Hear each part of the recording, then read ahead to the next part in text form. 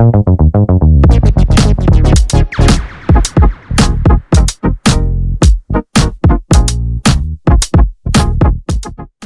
everyone, and welcome back to another Security Shorts with Scott. As always, super excited to do these. Uh, we're trying to make sure you, the audience, gets really impactful, interesting information in the shortest, um, most compelling uh, amount of time possible. And to that extent, I'm very excited to welcome Mr. Greg Schaffer. Greg, welcome to the podcast. Happy to be here. Awesome, Greg. Uh, for all those who may have not have run into Greg uh, in your life, Greg is a principal at the vCISO Services Organization, uh, a long history in the security space and doing vCISO work specifically. Uh, and so, Greg, that's what we're going to talk with you about today the whole world of vCISO. But we always start off uh, with a little bit of a personal anecdote. So, uh, how did you get into the business or anything interesting that's happened in the security space since you've been here? So, so long history is a very nice politically correct way of saying older than dirt. I appreciate that very much. and I got into um, IT actually around the time when it was still called data processing. I was a student at the University of Buffalo, started as a student assistant in um, uh, late 89 or early 90, I can't remember which, and started as a network technician and then kind of went through the ranks of doing network stuff, network engineer, network director, probably around um, it was around 2000 when we brought put in our first firewall. So really that was the best in uh, this when i was at a university. And then around 06 i realized that i was spending more time blocking folks than getting them to talk. So that's actually when my career flipped it flipped over to security more so than networking. And i've just been following the um, path ever since. And, and now i do the uh, information security risk management and uh, i just absolutely love it that's awesome. Uh, my background is very, very identical. Network uh, admin, network uh, training ended up over on the security space, and same thing. Once you sort of get in, it's kind of uh, addicting. Um, so, Greg, let's talk vCISO. this is a term that gets thrown around by lots of people all over the industry. When I talk to folks, it it engenders a, a different type of concept depending on who I'm talking with. So, I would love to start with what does vCISO mean to you? Uh, and what is a good definition that we as a community can use to sort of start rationalizing uh, what the vCISO service is?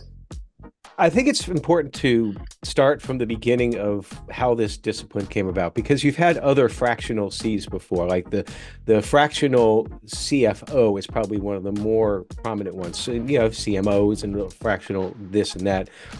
Um, the virtual CISO is in essence a fractional CISO, which is more presented virtually. This was prior to COVID, so uh, of course, virtual now is what we all do.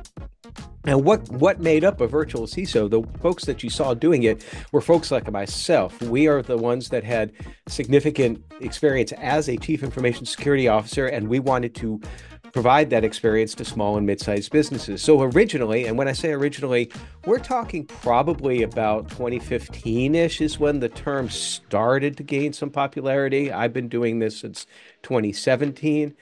Um, but along the way, more and more people got interested in the virtual CISO space because it can be lucrative if done right. Um, but you'll see that um, you've mentioned that there's a lot of terms of vCISOs out there. So there are a lot of different types of vCISOs now uh, with regards to um, you have those that have the risk experience and then you have other types. I think we're going to talk about that a little bit further in just a moment. Yeah. Perfect. I think that's super helpful. I know a lot of people, it's funny because as technicians, we sometimes overcomplicate things. If we all called ourselves fractional CISOs from the get go, there'd probably be a lot less confusion. mm-hmm. But, right. you know, being who we are, we had to come up with some uh, new term. So, what do you think the vCISO is not? Well, and, and going further from what the vi- virtual CISO is on the risk management side, the virtual CISO is there really to help build a, a business's uh, information security program does basically exactly what a CISO would do. So understanding that, then we can pivot to what a vCISO is not, um, or mm-hmm. should not be, I should say.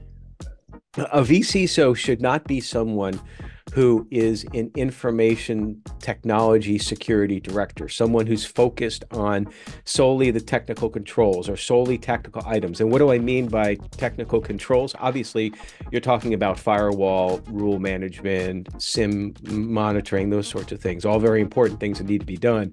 But that's not in the second line risk management space. A virtual CISO also should not be an inside salesperson. And there are some organizations out there that have added the vCISO service as a way to help sell products in, in their MSSP. And as an example of that, if you have uh, a virtual CISO in that space, and, and let me predicate that by stressing that not all instances of MSSPs offering virtual CISO services like this. They can manage mm-hmm. the conflict of interest quite effectively, but there are a lot that don't. And what you have is a virtual CISO then that may do a gap analysis for a business that then will be tempted to look more at gaps that the MSSP then has a solution that they can then sell you to solve that gap. And that's a significant issue because it, it gets down to an MS, a, a virtual CISO should not be somebody who's concerned with anything out, outside of second line of defense. In other words, should not be selling products within first line of defense. Um, the final thing that a virtual CISO should not be is somebody who doesn't have risk management experience. Now, it's very popular for folks to take the vCISO tag, slap it on their LinkedIn profile, and call themselves virtual CISOs that does businesses a disservice because they're not getting the true risk management experience from folks like myself that really the small and mid-sized businesses need. Remember, we're talking about taking the place of a chief information security officer just part-time for SMBs. Mm-hmm. Yeah, I love that. There's quite a bit in there that is is worth highlighting. I think the first thing um, and we hear this a lot, which is the focus on the security tooling, right? It's, it's as you say, a security director. Uh, we get it like, well, the vCISO should come in here and tell me exactly how to set up my pick your tool of choice, right? So I love the fact that they are really up leveled uh, from that. And I always talk about the focus on programmatics and strategy, right? Is is the second piece in is risk. Uh, we talk about resiliency a lot, um, and really that's what we're talking about is trying to help rationalize the risk and the resiliency for organizations, um, so that they can understand then what they need to flow down from those pieces. Um, and then the third piece I'd love to talk to you about, and you mentioned it briefly, which is the target market. Uh, so, who are the people that really benefit the most from fractional uh, CISO services or vCISO services? Well, these are going to be your small and mid-sized businesses that don't that aren't big enough to to need or afford a, a full-time CISO. So depending upon your salary survey of choice, I like to go with salary.com that the last time that I checked, the total compensation package for your average CISO in the United States is uh, just a little bit south of $300,000 a year. And of course, that depends upon a lot of factors your vertical, your size, what sort of regulations you're beholden to, your location, all of that stuff but in general, it's going to be a very expensive. You can't get a a, a, a CISO in anywhere for any anything less than six figures, and that's been the case for several years now. So, um, but but also small and mid-sized businesses, they really don't need to have that experience full time because they don't have the complexity, they don't have the teams, they don't have the tools. So, so really, the target would be uh, usually it's it's it's it can be anything from startups with just a few people up to I usually like to say about 300 FTEs, about that size. Then the company really is getting to that point where, and, and it varies, of course, but is getting to that point where they can bring on a, a full-time CISO. And really what the virtual CISO then is doing at this point in time is that they're providing almost the same services that a CISO would. And the reason why I say almost is that it's a different world, and I can say this confidently after doing this for seven years now. How you apply information security program building, if you will, to small and mid-sized businesses is different than higher businesses. You, if you take a CISO from one of the large companies and try to make them a vCISO, that's very difficult yeah. because it, it is an art of dealing with small and mid-sized businesses because they can't afford all of the tools and all of the people. So you've got to be very smart. That's why I keep on emphasizing risk management. You have to understand that you can't say you have this vulnerability, you need to have this tool to solve the risk. You have to understand the risk and how it integrates with the rest of the business's risks. That's how you mm-hmm. become a trusted advisor and the best advisor for the SMB. I love that. We uh, we often talk about you know the Pareto principle, which is how do you get the biggest bang for how do you solve 80% of the problem with 20% of the coverage right because smbs are sort of constantly in that uh, discussion place and what we find a lot of times is they're out buying tools and other solutions that are solving a niche problem that they think they have when it's really most likely probably not the big the most comprehensive way of solving uh, the problem in the easiest manner so again this is where somebody like yourself really makes a difference well, can um, I add? Can I also, add something to that point just quickly? Yep. It, and that is one of the big problems that we find, where you get the SMBs are they're they're picking a tool here, picking a tool here, picking a tool here, and and they don't know how they integrate together.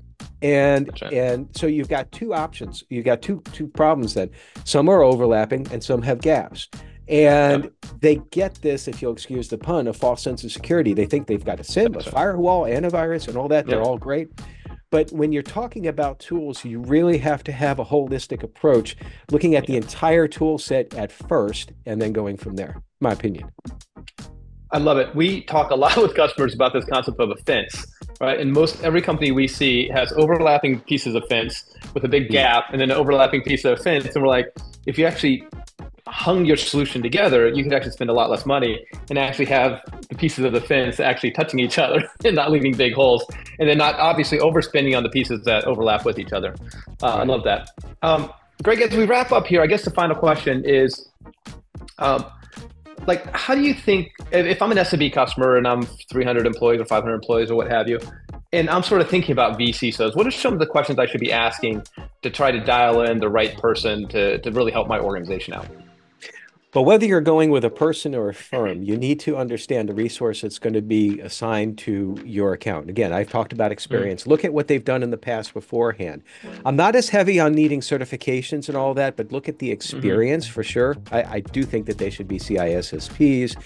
Um, you also want to look at, and this is more of a firm type thing, you don't want to have an instance where you're trading off vCISOs like every other month. And because it takes a long time to become established, to understand. I always tell folks when we first start with them that there's this ramp up period in the beginning. We're learning your as is because we're not going to start mm-hmm. and, and tell you things that you need to change until we know those things that need to be changed, those gaps. Um, they need to look to to ensure that there's a that certain amount of um, flexibility with regards to time, but there's because we understand that that it's difficult sometimes doing this virtually and getting folks together. The virtual CISO cannot just be reporting into one person at a at, at, well, they can report into one person, but they need to be talking with a lot of the SMEs there. So there's the scheduling and timing. And as far as the reporting in, this is probably the, I'm glad I didn't forget this.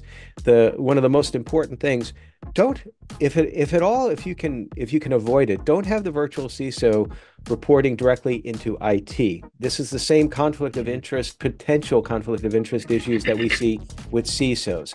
Now, again, it can be managed, but we have found it becomes much more effective if we either have like a dotted line or to like a CIO, or if we're reporting into another officer, like usually it's a COO, or it's a, in some instances if they have a chief risk officer. That you see that a lot in banking and in uh, credit unions. Then we report in there. Those are really the major components. You, you, you definitely want to make sure too that look at the experience of the firm if you're going against a firm that that they have they can be able to demonstrate that they've done this successfully before. Yeah, I love it. I think the two pieces that I know that I've heard matter obviously is the experience.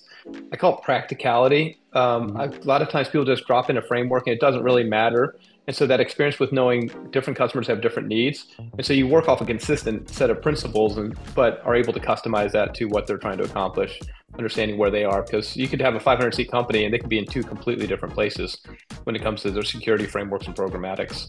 Well, yeah, uh, so and that's I, hugely important to understand the company so that you can know which framework that you want to apply to it. Don't just go in and automatically assume I'm going to do CIS 18 or I'm going to do NIST CSF because that's what my preference is. It needs to align right. to the company. What is their preference and, and what do they really need? Yep. Love it. Um, well, listen, Greg, I really appreciate the time. Super practical, super useful. Hope the audience really got a lot out of it. How uh, do folks find you? Oh, you can just go out to our website at uh, vcisoservices.com, vcisoservices.com. Uh, hit me up on LinkedIn. Um, you know, so long as you don't try to sell me anything, I usually accept connections. So, um, and uh, and or you can always email us at info at vcisoservices.com. Perfect. And with that, Greg, thank you very much for joining uh, Security Shorts with Scott. Super practical, super useful, and really appreciate your time. Thank you very much.